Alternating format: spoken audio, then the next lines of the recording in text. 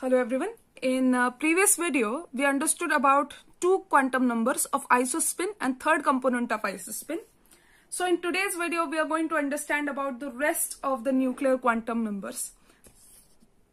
So let's start by first checking whether your homework that I had given in the previous video is correct or not. I told you to derive isospin and third component of isospin for hyperons.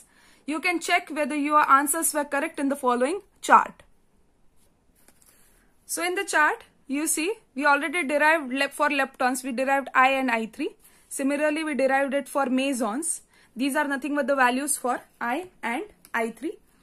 And you were told to derive the value of uh, I and I3 for baryons. So these are the values for baryons. These are the values of uh, isospin I and these are the values of third component of isospin I3. Check whether the values that you derived are correct or not and let's move on towards our next quantum number which is baryon number.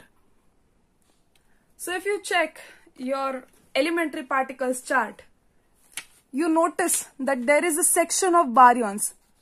All the particles that come under this uh, branch of baryons, that is nucleons and hyperons, all of them would have baryon number as 1. So all the particles that you see in this section will have baryon number 1 and all the remaining particles that is leptons, mesons and photons would have baryon number 0. It's as simple as that. Just feed in the data that we just understood in the chart that you made. Thus we see that baryon number for leptons and mesons would be 0. On the other hand, the baryon number for baryons would be plus 1. The next quantum number that we'll understand is lepton number. As the name suggests, Similar, in similar fashion to baryons, leptons, only and only leptons would have lepton number to be positive 1. So all the leptons that you see here, that is electron, muon, tauon and neutrinos would have lepton number plus 1. On the, on the other hand, the lepton number for mesons and baryons would be of course 0. So the next concept or next nuclear quantum number that we are going to study is strangeness. But before we understand strangeness, we need to understand Gell-Mann-Nishijima relation. So what is Gell-Mann-Nishijima relation? It is a relation that connects charge q of a particle with I3 that is third component of isospin, baryon number and strangeness. As we saw, I3, Q and B we have already derived in our previous videos. So we can just put in the values of these three components and find out the unknown component which is S or strangeness. So we can use this Gell-Mann-Nishijima relation to find out about strangeness of particles. So to understand strangeness, let's take an example. So let's start with example of uh, pi positive, that is the positive pion particle, pi meson particle. So if you look at pi meson, this is nothing but our Gell-Mann-Nishijima relation. In this, we can just put the values of Q, I3 and B. So if you look at the chart, I3 that is third component of isospin for pi meson happens to be plus 1. We just put in the value. So we put I3 equal to plus 1. Similarly, baryon number for pi meson happens to be 0. We put in this value of uh, baryon number B. And of course the charge since it is a pi positive particle, positive means Q that is charge would be positive 1. We just enter all these three values in the Gell-Mann-Nishijima relation. We get plus 1 equal to plus 1 plus half into 0 plus half into S. We just put all the three values of I3, B and Q in the Gell-Mann-Nishijima relation. Thus, solving for S, we get S equal to 0. Thus, we can say that pi positive, that is positive pion or pi meson has strangeness number equal to 0. That is, it is a non-strange particle. Let's take two more examples. I hope you have noted down all the values that we have found out for I3, B and I in our previous videos. Just note down the chart that we have already created and by pausing the video in the previous slides. And after you do that, let's start with the derivation of strangeness for omega minus. So for omega minus, if you look at the chart that I showed for all the values of I, I3, B and L, we'll, we see the charge for omega minus, since it's a minus particle, we get Q equal to minus 1. If you look at the chart, I3 equal to 0. And baryon number, since it is a baryon, since omega minus or omega hyperon is a baryon, we get B equal to plus 1. Just put all the three values in the Gell-Mann-Nishijima relation. We get minus 1 equal to 0 plus half into 1 plus half into S. Since charge is minus 1, I3 happens to be 0 and baryon number is 1. So just by solving for S, we get strangeness. We get S equal to minus 1 minus half into 2 which happens to be minus 3 by 2 into 2. If we cancel out the 2's, we get strangeness equal to minus 3 for omega hyperon. So let's solve for proton next. So proton as we know charge on proton is positive 1. I3 for proton happens to be plus 1 as we previously derived in our previous video for I and I3. And baryon, since P is a baryon, since P is a nucleon which happens to lie under the baryon branch, we get baryon number equal to plus 1. Put all the three values in the Gell-Mann-Nishijima relation. Put Q equal to plus 1, I3 equal to plus half, B equal to 1. We get value for S equal to 1 minus half minus half which is 1 minus 1 into 2. So we get S equal to 0.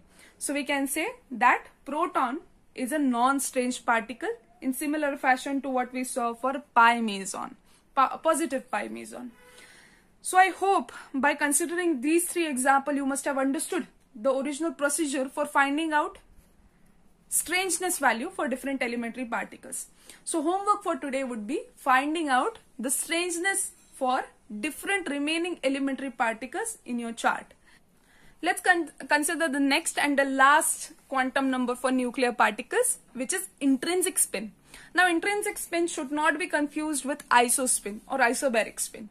So, intrinsic spin, to consider int intrinsic spin, just look at this elementary particles chart. You see that elementary particles are divided or classified into fermions and bosons. So, we should understand that fermions would ha always have half integral spins intrinsic spins. On the other hand, bosons would have only 0 or 1 spin. So if we put the values of spin for all these particles, we find out that spin for all the leptons, spin for all the nucleons and all the hyperons happens to be plus half. So spin for all the fermions would be plus half except for omega hyperon which has 3 by 2 spin. So the reason behind the 3 by 2 spin of uh, omega is of course the quark model. If you want to cover, uh, if you want me to cover quark model in one of my videos, just write down in comments. And of course, if you look at the bosons, all the bosons would have 0 or 1 spin. So as you look at the bosons around here, all the mesons, that is all of these particles would have zero intrinsic spin. So all of these would have zero intrinsic spin. On the other hand, photon or graviton, uh, gravitons have intrinsic spin of 1. Just feed in all these values for spin in the chart that we made. So I just put in all the values of spin or intrinsic spin in our chart. Do not confuse the values of strangeness with spin. These are the values for spins of the particles. So as we know, leptons are fermions, so they have one half spins. Mesons are bosons. So they have zero spin if you just look at your elementary particle chart. And baryons, which are again fermions, have one half spin except for omega minus, which has 3 by 2 spin.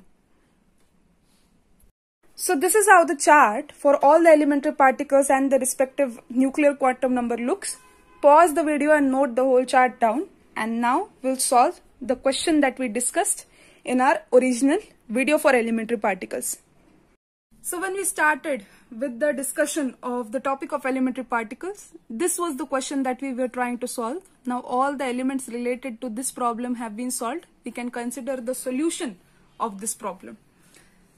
So look at the problem. This is the equation that you see in the problem, pi positive plus n that gives k naught plus p. We have to see this relation for which of the quantum numbers this relation is not conserved. So let's see for charge first. We see pi positive, so positive 1 charge. Neutron, neutral, so it has 0 charge. K naught, so again charge is 0. And for proton charge is 1. Since that there is positive 1 charge on both sides of the relation, we get that charge is conserved. Next we go on to baryon number. Since, since pi positive is a baryon, we get B equal to 0. Neutron we get baryon again. Baryon number is 1. Even for K, it, since it is a meson, we get baryon number 0. And for proton, we get baryon number 1. Again, 1 on both the sides, we say baryon number is conserved. If you look at strangeness, however, strangeness, if you check the chart that you noted down, strangeness for pi positive happens to be 0. For neutron, strangeness is 0. For kaon, strangeness is minus 1 and for proton, it is 0. Since this minus 1 goes unbalanced on the LHS, we say that this relation or this reaction is not conserved under the laws of conservation of strangeness. And next is I3. Even I3, we see that I3 on the RHS is positive 1 and minus half. And on LHS, I3 happens to be minus half and plus half. Since on the LHS we get 0 on, and on the RHS we get 1 half, minus 1, uh, we get 1 half. So I3 is not conserved on LHS and RHS of the reaction. Thus we say this reaction is not conserved under strangeness and I3. If you look at the question, this is nothing but our option D. So we can say that this nuclear reaction is invalid under the laws of conservation of strangeness and third component of isospin that is I3.